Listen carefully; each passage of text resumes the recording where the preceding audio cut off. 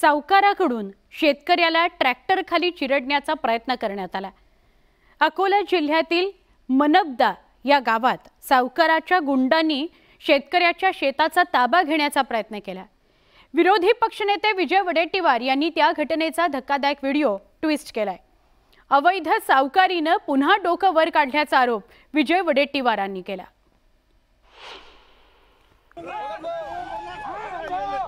मुजोर सावकार आणि त्याच्या गुंडांनी शेतकरी कुटुंबावर केलेल्या हल्ल्याचा हा व्हिडिओ पाहून राज्यभरात संताप व्यक्त होतोय.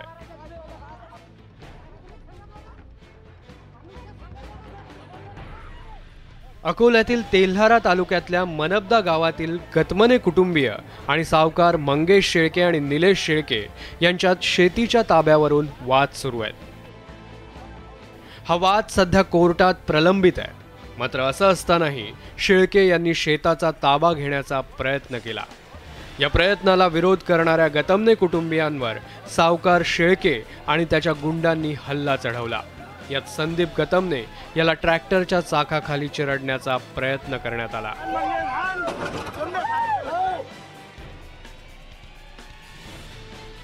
हरिभाऊ गतमने यांच्यावर धारधार शस्त्रानं हल्ला करण्यात आला. विरोधी पक्षनेते विजय वडेट्टीवार यांनी हा व्हिडिओ ट्विट केलाय. अवैध सावकारांवर सरकारनं कडक कारवाई करावी.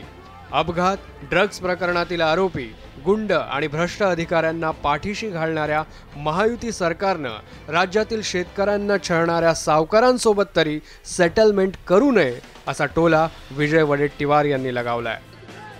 गतमने कुटुंबाला झालेल्या मारहाण प्रकरणात तेल्हारा पोलीस स्टेशनमध्ये सावकारासह तिघांवर गुन्हे दाखल करण्यात आले आहेत. तर शेतकऱ्यांवर अन्याय करणाऱ्या कुणाचीही मुळीच हयगय केली जाणार नाही असं मुख्यमंत्री एकनाथ शिंदेंनी स्पष्ट केलं आहे विजय वडेट्टीवार यांनी एक ट्विट केलेला आहे व्हिडिओ पण ट्विट केलेला आहे की त्याच्यामध्ये नाले सफाईवर केलंय? अवैध सावकारीवर अवैध सावकारी. अच्छा. सावकार कोण आहे ते त्यांनाच माहीत असेल. बनबदा गावात सतरा मे रोजी सावकार आणि त्याच्या गुंडांनी हा धुमाकूळ घातला होता.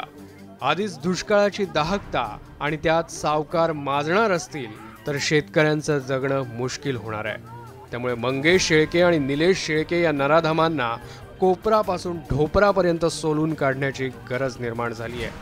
तरच सावकार आणि गुंडांवर जरब निर्माण होईल. Bureau report news eighteen Lokmat.